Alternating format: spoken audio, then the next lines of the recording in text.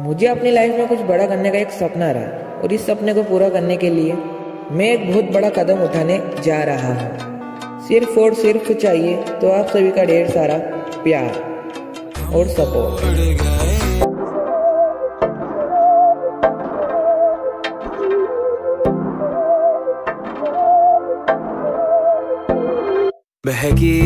सो so guys मेरे life का ये फ़र्स्ट ब्लॉक है। अगर मैं एजुकेशन की बात करूँ तो मैं ट्वेल्व में हूँ। गाइस मैं छोटे गाँव से बिलोंग करता हूँ तो please my channel subscribe and like and comment please